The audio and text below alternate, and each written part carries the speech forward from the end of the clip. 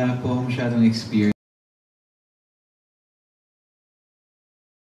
Nagsasalita at hindi rin naman ako tumitingin sa tao. Hindi niya rin po ako napansin. Thank you for sharing your experiences. Maraming salamat. For our next question, we have Bobby Recantina of Manila Bulletin. Gandang hapon po. Ah, kay Direk muna. Direk, um, we all know sa rom-com, importante ang chemistry, ano? So how would you describe yung chemistry ni, ng, ni Kylie and Paolo? Ano yung nakita niyo sa kanilang dalawang nababi sa kanilang Uh, well, so beyond their uh, past friendship and working together, parehong pro kasi si Pao and Kylie. And then, when we did the processes of the workshops, uh, script reading, they always give input on the character. So, yung professionalism nandun. So, spot on. So, imimig ko kung na- nagkakasundo sa trabaho, makes other things easier.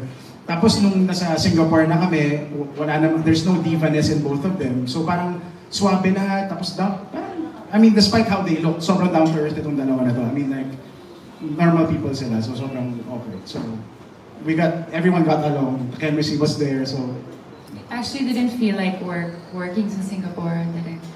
walang traffic eh. Bilis. Romela, sir, si Kylie and Paolo. Okay. Uh, we all know wala naman perfect sa mundo, no? Pero if you were given a choice, a perfect career or a perfect partner? Hirap niyan. Mahirap yan. Ako, Hypothetical. Ako sumagot una, ako perfect partner, dyan yung asawa ko eh. Yes! Okay. Um, siguro para sa akin, perfect partner. Dahil kapag nahanap mo yung perfect partner mo, parang ano eh, mas decidido ka to drive parang everything in your ay, in your career or whatever it is. Um, yeah, I think perfect partner.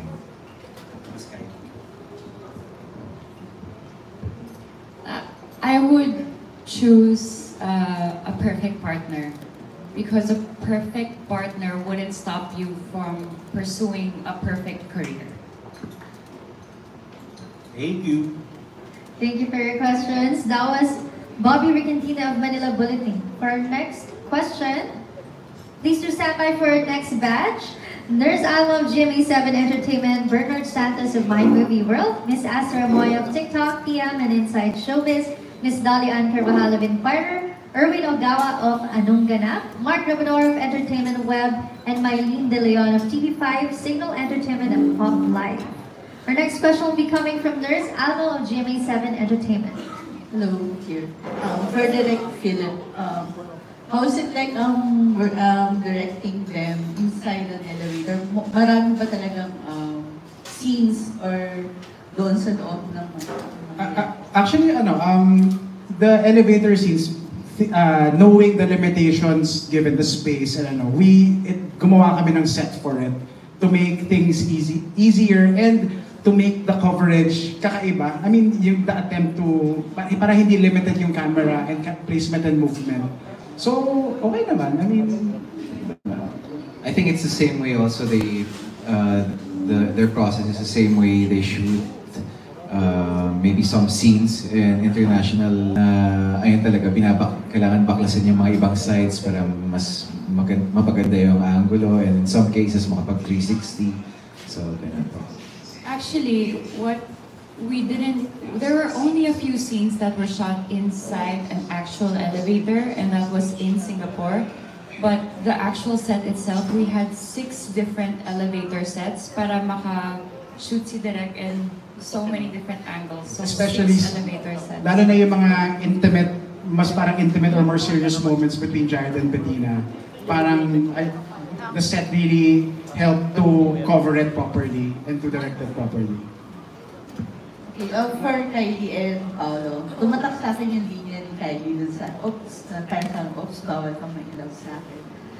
May time ba na na-experience nyo na yun and how, paano nyo na, na-overcome or may, ano ginawa nyo?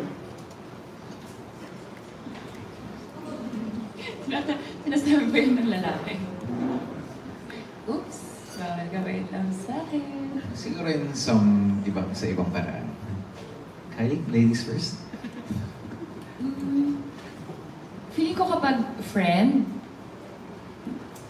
kapag, kapag friend and then gusto mo lagyan ng boundaries already, pwede mo yung, pwede mo yun sabihin. Or, or actually, kapag workmates, no? So, yun. Um, sa akin, parang never ko pa naman po na experience. Ah, kasi ah, hindi na po umaabot doon. Parang diretso na pong binabasted ako or hindi na po sila umaabot sa sinasabing bawal may in love. Pero um, ah, ako, I respect, ah, ma- ma- malaki po yung pangunawa ko and respeto ko sa mga tao na ah, tulad ng sabi ni Kylie, um, gusto mag-set ng boundaries. Um, yan po. Thank you. Thank you. That was Nurse Alma of GMA7 Entertainment. Up next, we have Bernard Santos of My Movie World. Hello, good afternoon. Uh, my first question is for um, Kylie and Paolo. So since both of you, um, uh, marami na almost uh, the same. Like for Paolo, you've done um, several rom-coms or love story before. Ikaw, Kylie, about uh, woman empowerment. What makes this film different with others in terms of um, doing the characterization on this film? Um, how this differs from the other characters I portrayed, si Bettina, very modern Filipina woman. So, imbes na sabihin natin yung gusto kong tulungan yung pamilya ko or gusto ko makaangat yung pamilya ko from from sa hirap. Si Bettina, yung gusto niya sa buhay, she wants to be her best self. Gusto niya to, let's say, to start her own business. Gusto niya makawala from a bad relationship. She wants, she, gusto niya self-actualization yung goal niya. And for me, iba yung different, yung movie nito, it talks about different topics. For example, anong mas pipiliin mo? Yung love or yung money? What if may pumasok sa buhay mo na, may, na mahal mo, maghihinder ba siya sa career mo, sa success? So, it talks about topics like that. Uh, sa akin naman po, uh, uh, I've done several, ay, a couple of rom-coms or comedy, or mga ilan-ilan na mga comedy na pelikula. Pero um, I think this is different because, well, first of all, the character is uh, different. And uh, second siguro, it's more than a rom-com. I feel like it's, it's Ah, hindi ko alam eh. Rom-com, rom-com ba natin minamarket? Parang akin kasi mas inspirational siya, mas mas uh, feel good dahil um, yung mga in-betweens na nangyayari sa sa mga uh, kababayan natin na nagtatrabaho abroad, parang dito nakikita rin paano sila makasalamuha sa mga uh, ibang lahi na ibang lahi na katrabaho nila and parang um, yeah, parang it's an it's uh, it's it's something that would inspire you uh, not just for your career but also parang sa outlook mo in life. To, to add to what Paolo ano, uh, say about it, the movie being more than a rom-com, kasi highlighted din yung camaraderie ng character ni Paolo sa mga katrabaho niya na iba't ibang lahi, hindi lang Pilipino. Si Kylie na yung character, may mga katrabaho din na ano. So, bukod kaya lagi yun yung parang central conflict ng movie, love or money, kasi pareho silang na, na dun sa na, ah, parang sumis, nagsumisipag lang is the anthem of the ano the, the, the for the migrant workers. So so bukod sa love, nandun yung ano yung camaraderie nga. So making it I guess more than a rom, just a rom-com. You, uh, for my second question, since the movie is parang about uh, office romance, kayo ba personally, uh, would you like to have a partner na same with your um, field or someone na outside na sa work niya? I don't think the movie is about an office romance. Hindi kami workmates, pero we met each other inside an elevator. So, hindi kami workmates. Um, I am, personally, I would want someone um, not in the same industry as I am. Feeling ko mas marami akong natututunan na iba. And um, para din maiba because show business is a very public industry. Um, if given the chance, um, I think siguro okay lang din na parang hindi in the same industry. Pero parang napapaisip nga ako ngayon siguro pag pag uh, you're, you own a small business, and parang may, parang yung mga kaibigan rin kasi ako ganun, parang sila mag-asawa yung nag-handle ng business. Parang sarap rin siguro, parang iisip ka, Oy, mahal, o ikaw na ngayon. ah." Ah, hand in hand yung, yung ano, so um, malaki yung respeto ko sa mga taong kaya nila yung ganun. Pero um, maybe personally, if given the chance, ah, siguro ah, not in the same industry. Thank you. Thank you. Thank you. That was Bernard Santos of My Movie World. For our next question, we have Miss Esther Moy of TikTok, Yan, and Inside Showbiz. Good afternoon sa inyong tatlo. Una muna kay Direk, hi Pau, hi. Uh, una muna kay Direk. Direk, um, you are more of a writer than a director. Mas marami kong nasulat kaysa Yes. sa pagdidirect. Um, given the choice, saan ka mas, uh, saan ka mas, uh, mas, saan mas fulfilling para sa iyo? Writing or directing? Shoot, sige. Kakaisip ko lang nito ah. Num- so yun, technically newbie pala ako na director. So this being my second feature. But I have like, uh, I have Lino and Shugo behind me who always guide and support. So that gives me confidence to do it. Um, yung directing kasi parang pangarap ko na siya, college pa lang ako. Tapos yung writing I thought was a stepping stone to becoming a director. But as I've written so much, mahal na mahal ko yung pagsulat kasi it's just you. Parang na-appreciate ko talaga yung part na figure out mo yung problema na ikaw lang yung kwento. Uh, on the flip side though, just because it's you all the time, medyo malungkot magsulat. Lalo na kung may deadline ka na hindi mo matapos. Tapos yun naman yung na-appreciate ko dun sa pag-direct. Kasi you are constantly working with great actors, may great producers. As example, Charmin, uh, Mary Maximo over there. So you always get to collaborate. Ano, so it makes it less a less painful uh, part of the craft. So I guess I love both. Depende lang siguro kung na-figure out ko yung problema o hindi at this time. Kung ano yung ano, mas masaya. Ganyan. Thank you, Direk. Um, kay Pau. Pau, I, I watched you in 2012. Napaka-husay mo doon. Doon kita una talagang hinangaan as an actor. And then, of course, si Kylie, I think the housemaid was the best uh, acting uh, na pinakita mo. Um, uh, after doing those uh, projects, nagkakaroon ba kayo ng parang, nagiging choosy ba kayo pagdating sa mga proyektong tatanggapin nyo?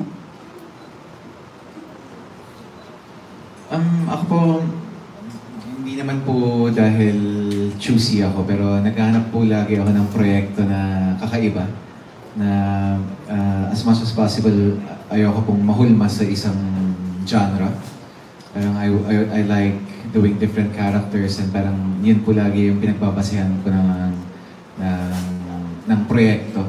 Ah, kumbaga hindi po hindi po baling mag-audition ako. Ah, ginawa ko po yun sa mga tatlong pelikula na nagawa ko na nag-audition po talaga ako para sa sa role. Um, dahil ah, yun po yung yun po yung nag nagpapa-excite sa akin para para gumawa ay para ma, para magtrabaho Ah, kapag kakaiba po or or may bago akong pwedeng ibigay sa character na hindi ko pa po nagagawa at hindi pa nakikita ng mga tao. Thank you. Kay. Ako naman po, um, I, I've always been very careful with the projects I choose. Probably earlier on in my career that, that wasn't an option for me. But now I am given the opportunity to choose and I'm so, so grateful. Um, gaya po ng sinabi ni Paolo, ayoko din makahunt sa isang genre or sa isang character na kaya kong gawin. So, and especially like this movie na may there are lessons to be learned. It makes you think. It's a very special movie. There's may may matututunan ka sa movie. So, yun yung mga projects na hinahanap ko. Something meaning and something fulfilling as a person and as an actor. As actors kasi, di ba, meron kayong ah, parang dream project. Ano yun? At saka, meron din kayong gustong makatrabaho. Sino yun? Sa inyong dalawa. Um, para sa parang ang dream project ko po talaga gumawa po ng ano eh, malaking sci-fi na pelikula. Parang ah, alam ko po mahirap mahirap gawin dito sa Pilipinas dahil kapag gagawa po ng isang malaking sci-fi na pelikula, budget po lagi yung nagiging problema pero um, yun po, yun po ang pangarap kong gawing pelik ay, pangarap kong magawang pelikula at ah, sa katrabaho naman po um, hindi naman po, hindi po maarte sa katrabaho basta may, basta may disiplina lang po sa set. Ah, sino ba? Sino ba pwede? Si Kim na naman. Why not? Well, gusto ko naman yung working ah, kung paano magtrabaho sa Kim. Ah, sino bang, sino ba bang pwede ngayon?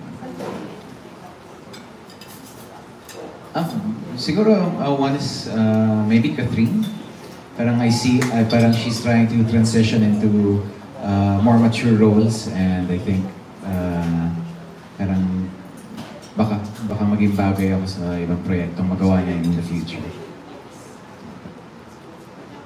Si Kylie naman.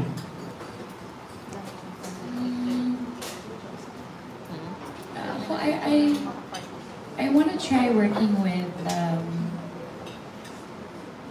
international actors para lang makita ko kasi iba-iba iba-ibang culture, iba-ibang acting style ang nadadala ng bawat actor, yung from the tone to the pace to the yung bilis niya. So I want to try working with um, international actors.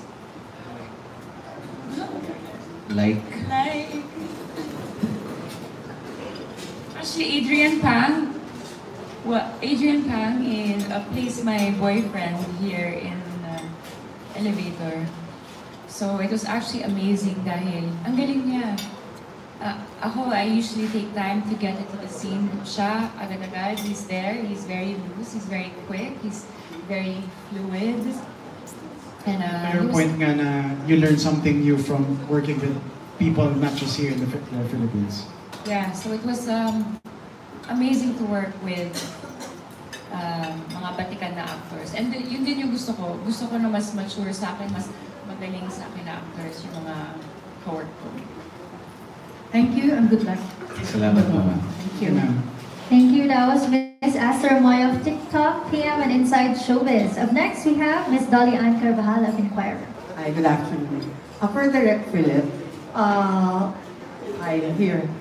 Um, the trailer, the trailer is very interesting because it's not the usual OFW film about domestic helpers or caregivers. So, uh, if you would give your movie a tagline, what would it be? The, ano, the, the one ano, sa love or sa Love life. Go, sa, the one on the poster. Sa love Ah. or sa life, going up or going down. Ah, meron. Uh, so parang yun yung best encapsulation. And yes, love or money. Perfect din siya. Parang ako iba yung song Ano? Ah, yung gusto ko pang tagline. May kanta po kasing ginamit dito na rap. Ah, yung Sipag parang, lang. ah, parang araw, parang para sa akin gusto ko araw-araw sipag lang. Parang mas nakaka-inspire siya. Bakit?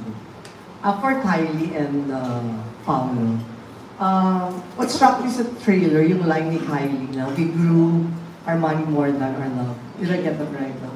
Uh, so in relationships sa tunay na buhay, uh, how important is money in uh, love relationship? Or emotional investment ba or financial investment ang mas important sa relasyon? Parang kung sa akin, parang it's a mix of both. Um, but uh, we grew our money more than our love. Ako po kasi parang, ano eh, parang hindi po ako, hindi po ako, sorry, nawawala. nawawala. Sorry, what was the question po again? Kasi sa relasyon, if you'd rank importance of money or the finances sa relasyon, right, on a scale of 1 to 5. Oh, if Number you- 1, I think it's in the middle. It's three. Uh, because uh, choosing the right partner also parang you have to know where the finances go. You have to, especially, uh, kailangan nyo mag-budget. Uh, week, uh, you have to fix, uh, to, to save and maybe, maybe for your kids if you have kids. But I think it's in the middle. It's three because it's important to budget and to, to save for the rainy days. I, For me, it it is an important part, but it's not the most important part of a relationship. I mean, it, it would be nice kung bilang babae, feeling ko, no matter how much you earn, you should always keep something for yourself. Para um, you don't rely on a guy to sustain you. So, kahit no no matter kasi di ba may conceptualization tayo na parang like, for a girl to umasenso na buhay, magpakasal ka na lang ng mayaman.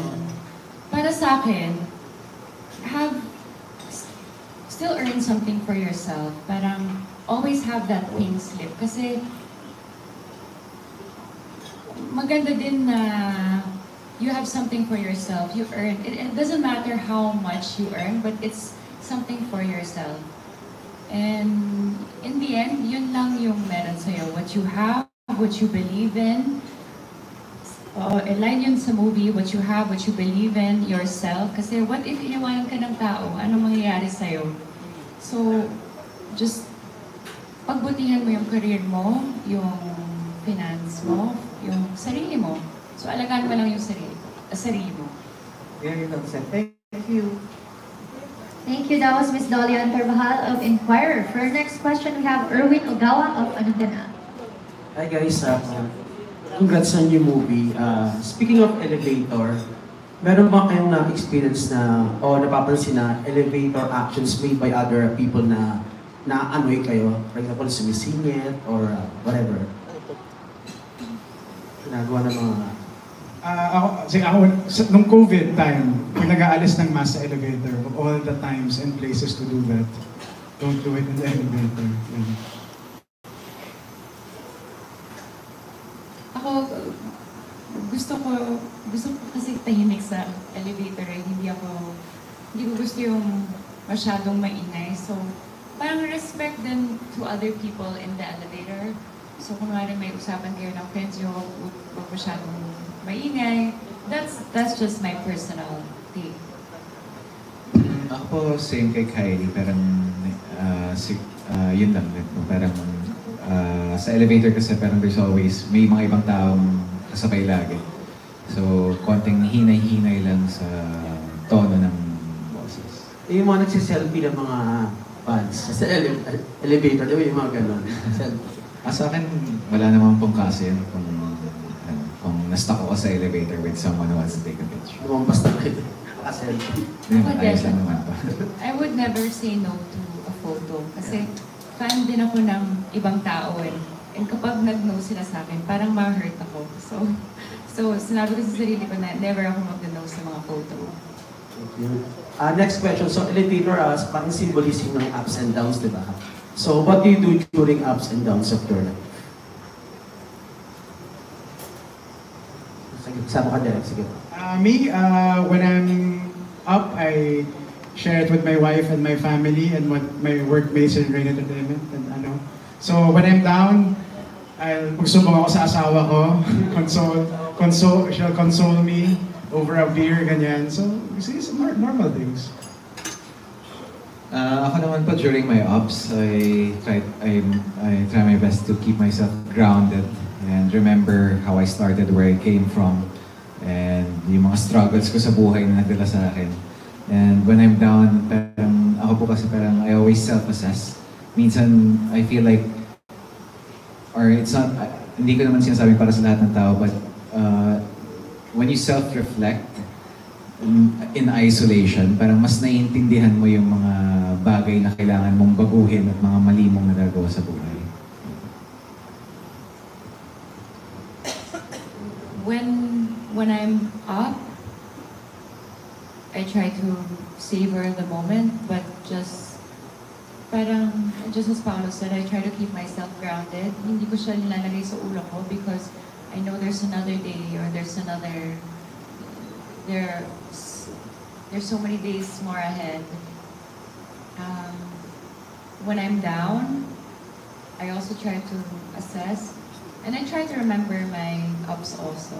Pero siguro with like proper planning and execution, you'll get back up again. Okay guys, sa movie.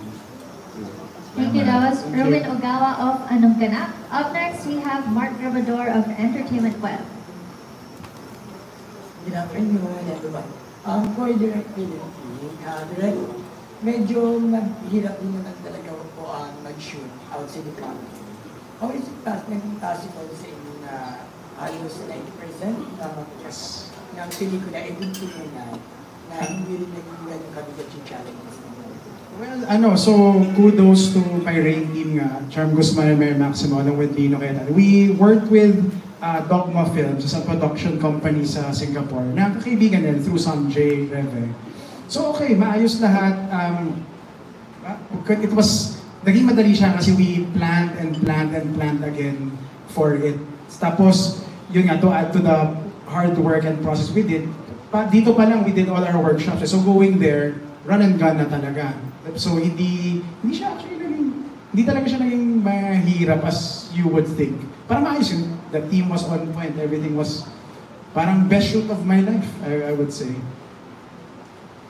For the last kasi na lang, for Kylie, uh, kung babalikan mo yung beauty uh, pageant mo before, at makakausap mo yung sarili mo, uh, bakit congratulations?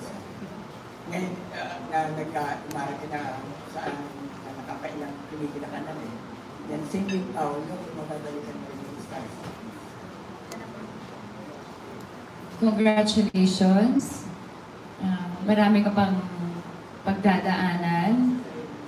And um, enjoy the journey. Um,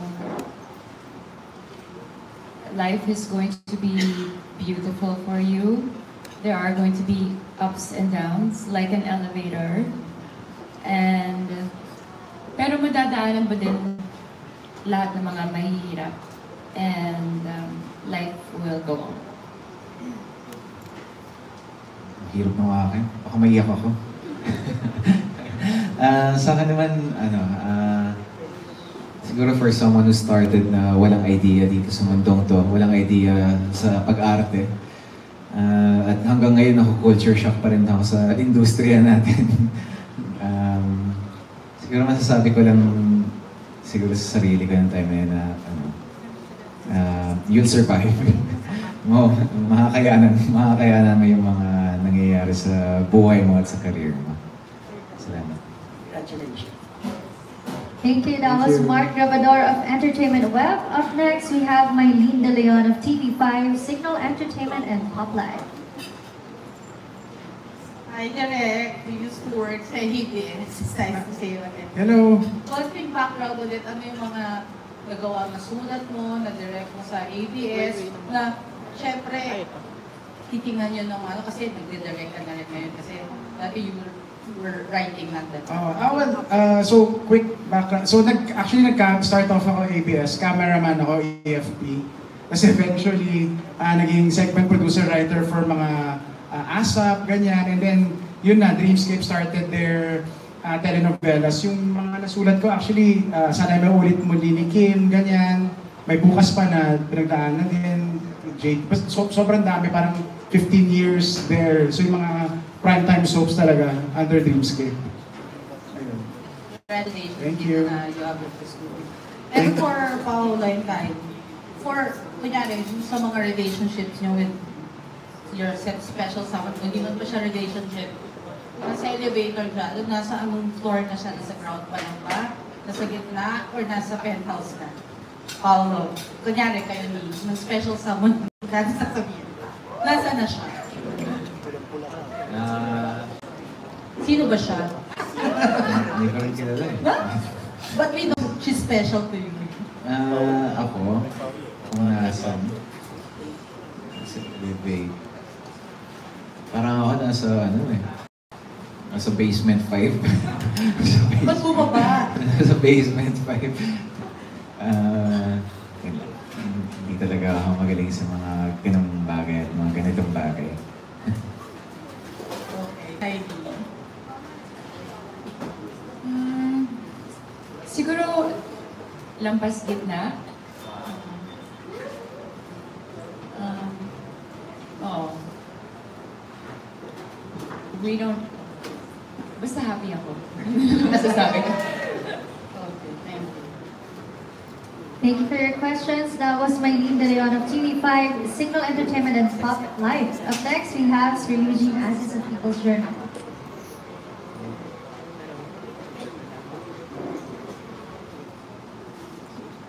Hi, hi. Uh, kay ano muna kay Derek.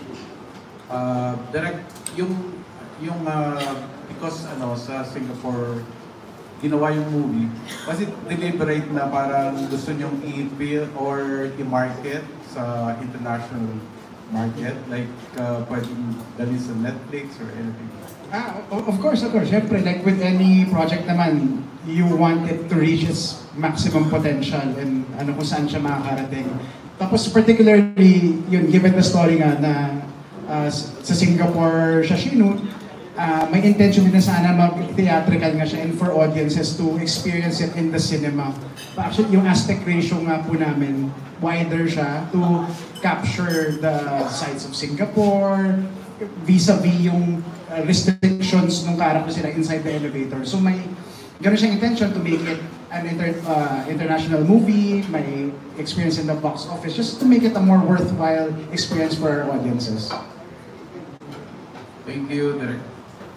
Para sa dalawang cast, um, kanina nabanggit niyo yung, ano, yung collaboration with uh, mga international actors. Uh, pero yung nabanggit lang ni Kylie was Adrian Pang. Uh, wala bang iba like Henry Golding, mga, mga talagang international? Malay natin, baka lumabas si Henry Golding. Pero we had um, uh, um, a lot of uh, cast, ay, a lot of um, yeah, cast members na kinast talaga nila sa Singapore. Yes. Uh, as uh, Direct mentioned earlier, we're also partnered with the Dogma Films. So sila Rishi, may sila, sila Bobby, ganyan. Actually, mar- marami sila. Mahirap na i-pronounce yung ibang names. Kasi ganun ka-international yung ano. So, but ano, you'll see when you get to see the film, so you'll dive into a different culture through the other characters. So it's gonna be, parang ano siya, magiging bago para sa ating mga Filipino to see. Like, the, the food and the way their camaraderie is built despite the differences in culture. Okay. Lundag tayo sa ano, sa Hollywood. Uh, sino yung mga dream uh, kulot na naiisip? Like, especially si Pa- uh, Paolo na alam natin one of the best actors in the country. Hollywood pa. Um,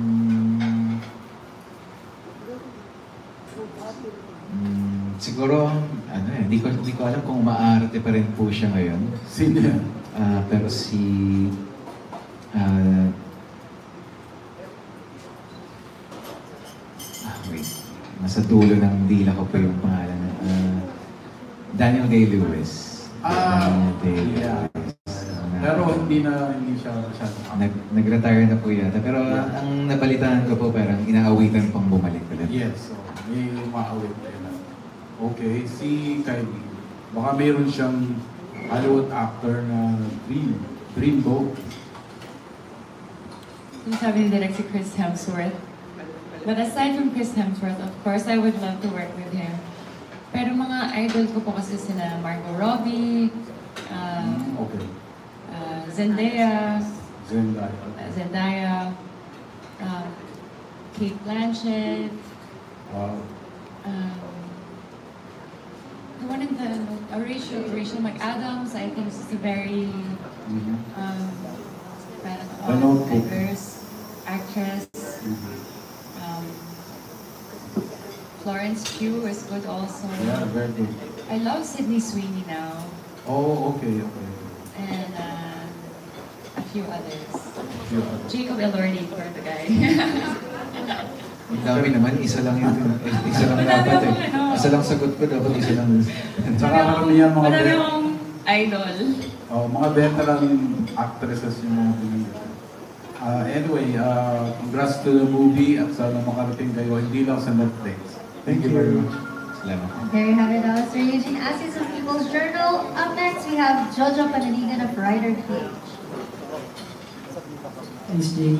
Uh, question ko lang kay Direk uh, Philip. Were you adamant in keeping this uh, inspirational movie instead of, uh, kung kaya mga kinuha mong actors ay malamang hindi nga man-link romantically uh, to each other, uh, or natempt ka ba to go a little rom-com seeing their chemistry? Actually, so yung, yung sa previous discussion na natin, ah, yung undertone talaga niya, yung inspirational, yung sipag lang ng mga manggagawa. Tapos may love kasi it's, it's the conflict. Tapos kaya siya funny, I guess, it's because they're natural banter. Yung si Paolo pagka-deadpan niya, tapos yung Kylie magpatulan. So parang it works for for yung situation nila na parang na-force sila to work together. Tapos eventually, they get to know each other and each other more. So parang nag-work as the, as they we ran along with the story. Yung romance or actually hindi nga siya ro- more mature kind of romance kasi siya. So hindi siya yung kilig na teenagery. Yung mas mature siya kasi the characters themselves are of this certain age and have different concerns not just kissing someone or holding each other's hands. So, parang in that sense, super na pull off talaga ni Pao and Kylie yung maturity necess- necessary for this kind of romance. Kasi kanina napansin ko, Paolo was, uh, I don't know if it was just me na parang he really wanted to point out it's more of an inspirational movie than a rom-com. Kasi di ba dito sa atin, they expect pag uh, ganito, may, pag may leading lady, may leading man, automatically may ano, romantic undertone. Pero uh, ikaw ba, Pao, do you think um, the audience has evolved, Filipino audience in particular, na hindi na ganun lagi ang hinahanap nila. And you want to cater to that taste now.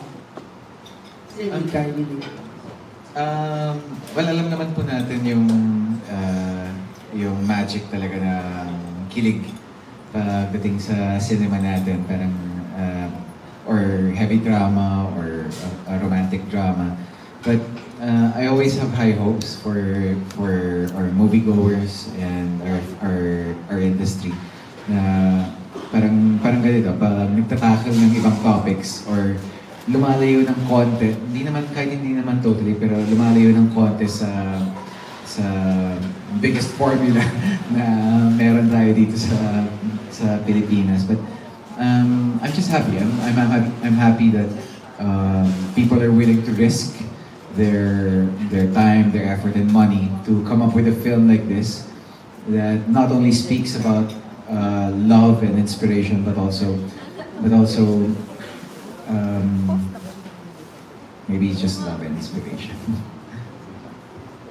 Ikaw din ba, Kylie, do you uh, hope na someday din dumating yung point na um, mahihiwalay na ng audience yung work sa private lives ng actor? Like ako, I've attended uh, uh, jackets abroad and pag nagsisimula kang magtanong about lifestyle, they really shut it down. No, you can't ask that. Let's move on to the next question. But here, somehow, uh, may, may ganun pa din. Ano? I agree kung kung anong nakikita nila sa screen, kala nila na ikaw na yon in person. And I hope, I hope in the future they will be able to realize, but siguro wish ko na lang yun. Pero it's not something I would think about as a person and as an actor. Gagawin ko na lang yung trabaho ko or gagawin ko na lang yung kailangan ko para para dahil dahil yun yung trabaho ko or dahil yun yung gusto ko. And bahala na lang what people think because I can't I can't I can't change what they think. But I will promise you I will do the best job that I can. Hindi yung naging, uh, sabi kanina ni Paolo, up to now, madami pa din siyang bagay sa industry na naku-culture shock siya. Ikaw ba hindi yung naging parang culture shock sa'yo na ah, they, they really want to bring or see the link between personal and the work? it's it's still siguro es, especially for me na I want to keep things private. It is it is still hard, but I understand it's part of the industry. But as much as possible, I do want to keep things for myself. Thank you guys. Thank you. That was Jojo Panaligan of Writer Page, and that concludes our Q&A this time. Please say a few words for all our viewers on Facebook, and you can promote as well your movie Elevator. Let's start with Paulo. Hello to everyone uh, watching live on Facebook. Uh, thank you so much for giving your time um, to watch uh, this is uh, live, this Facebook live uh, promotion of our film. Um, I just want to say na sana mapanood niyo ang Elevator on April 24 and uh, if you have thoughts on it or if you're experience, experiencing the same the same thing, I know marami sa I'm sure imposible na walang isa sa atin ang ang walang kamag-anak abroad uh, or or or kaibigan and I'm sure in some way or another na-experience rin nila yung mapapanood ninyo. Uh, so thank you, thank you. I hope you can help us spread the word and uh, thank you in advance. And also thank you, thank you po pala sa lahat, lahat, everyone who attended today. Maraming salamat.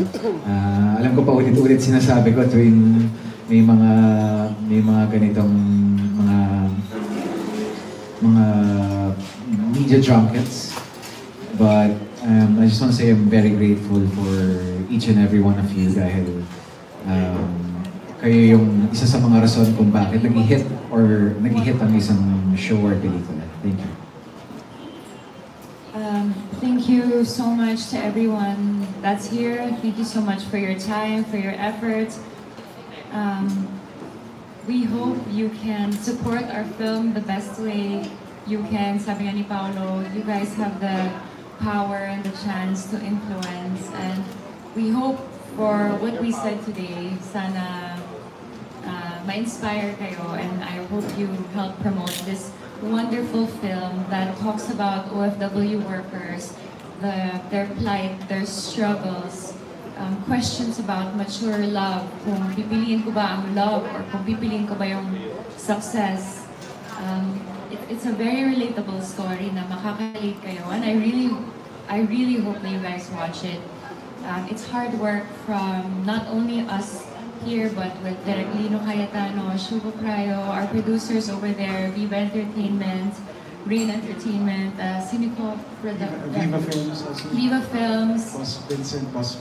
Of course, to uh, my wonderful manager, Boss uh, Boss Vic, And WASD of Paolo Avelino. and uh, Paula's management. Thank you so much for uh, allowing me. But um, um, just to go back, uh, thank you so much. It's a wonderful film. I hope you guys can help us promote it, and I hope you guys watch it and you enjoy it. Thank you. So, yun guys. So April 24, hopefully you support uh, Elevator. And from the bottom of my heart, I'd like to thank Paolo and Kylie for trusting me on this ride. My Rain family, Viva, Sinico, Paolo's AWSD, and Dogma Films of Singapore for all the support to pull this off. Pro, uh, yung sinimulan ko kanina, ano yung pitch for the movie, sobrang galing nga ni Kylie and Paolo dito. So hopefully you enjoy and I get the chance to watch it and be inspired by Elevator on April 24. Thank you. There you have it. And now let's give a big hand to Team Elevator. Congratulations. Let's have your last photo op before we wrap up. Once again, I'd like to invite you to come forward. Okay, it's time to take more photos and videos. And if you post it on your socials, please do tag us at Viva Films and on X and Instagram at Viva underscore films. Please use our official hashtags, hashtag elevator and hashtag elevator media con. For updates on elevator, like and follow Viva Films official social media accounts, Facebook.